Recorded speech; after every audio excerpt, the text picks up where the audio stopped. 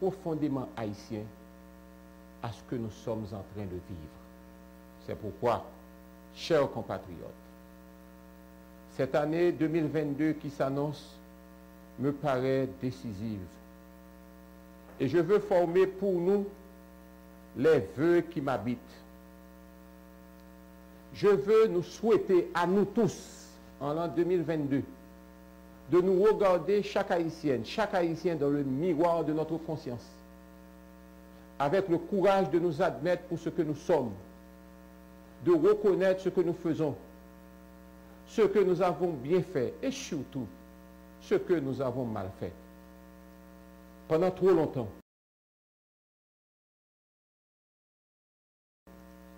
nous nous sommes installés dans un déni flagrant de réalité. Nous vivons dans l'une des plus faibles économies du monde. Nos infrastructures sont parmi les plus dégradées au monde. La scolarité de nos enfants coûte trop cher. Nous nous faisons soigner à un coût trop élevé. Nos dépenses en fonctionnement et en investissement constituent une inadéquation qui casse l'espoir. Nous pouvons faire mieux.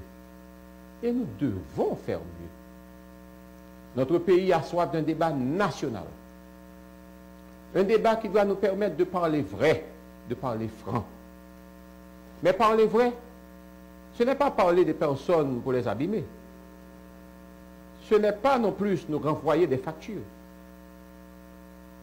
C'est pourtant parler de la réalité, celle qu'on doit transformer, celle qu'on doit rendre meilleure pour le bonheur à construire.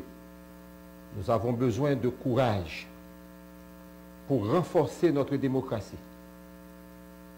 pour nous protéger des fausses informations, des manipulations et des intoxications. Il est indispensable de rebâtir une confiance démocratique dans la vérité de l'information qui repose sur des règles de transparence et d'éthique.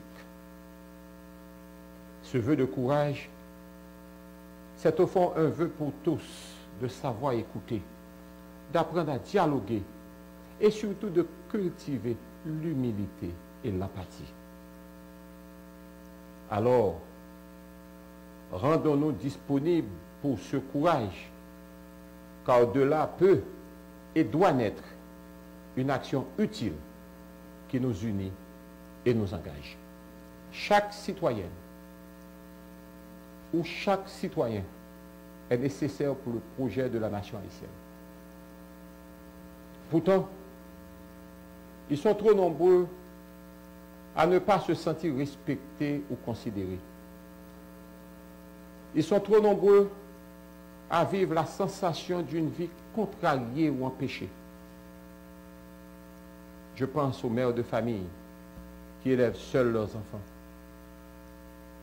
Je pense à nos braves paysans qui ne demandent rien qu'à vivre dignement de leur travail. J'ai une idée pour les retraités modestes qui ont encore la charge de leurs enfants ou de leurs parents. J'ai une pensée spéciale pour les personnes à mobilité réduite.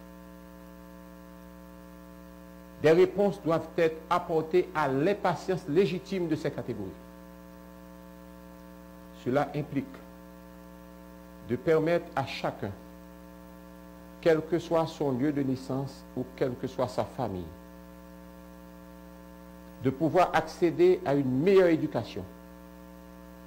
Et grâce à celle-ci, de pouvoir accéder à un emploi et pouvoir prendre soin de sa famille.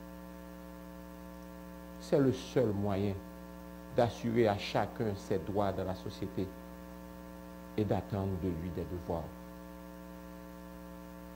Cela, il faut le rétablir et c'est notre responsabilité à tous.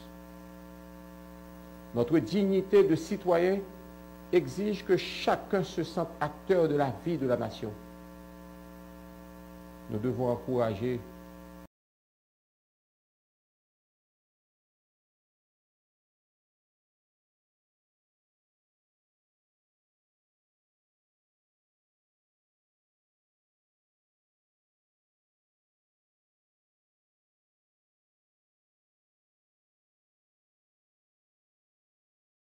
le débat pour ne pas gâcher les avancées de notre démocratie. Sur ce, il y a des décisions à prendre. Car d'évidence, le peuple haïtien doit commencer l'expérience de la vie institutionnelle. Nous devons récupérer notre dignité, qui est aussi le respect de chacun.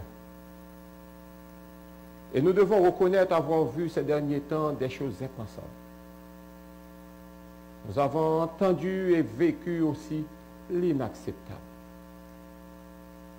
Nous vivons libres dans notre pays parce que ceux qui nous ont précédés se sont battus pour ne plus subir ni les mauvais traitements, ni les vexations, ni l'humiliation, ni l'avilissement. Et cette liberté, elle requiert un ordre républicain. Elle exige le respect de chacun et de toutes les opinions. Il y a une précaution à prendre par certains qui, trop souvent, prennent l'habitude de parler au nom du peuple. Enfin, chers compatriotes, haïtiens, haïtiennes, je nourris l'espoir que nous parvenions à admettre que nous sommes un grand peuple. Espoir de construire le vivre ensemble. Espoir en notre avenir commun. Espoir en notre Haïti. Espoir que dans une transcendance, nous trouvions nous-mêmes un accord qui nous conduit sur la vraie route. Espoir que la sécurité revienne et des élections crédibles viennent renouveler le personnel politique. Je crois que Haïti est une puissance culturelle qui porte en elle un projet inédit. Nous devons nous débarrasser de ce sentiment d'impuissance pour assumer. C'est là que réside cet espoir pour 2022. Je sais que notre avenir dépend de notre capacité à aimer et à aimer notre patrie de tous les horizons et de toutes les générations. Là est l'énergie d'Haïti. Je suis fier de mon pays, fier de toutes les Haïtiennes et de tous les Haïtiens. Je suis déterminé à mener tous les combats présents et à venir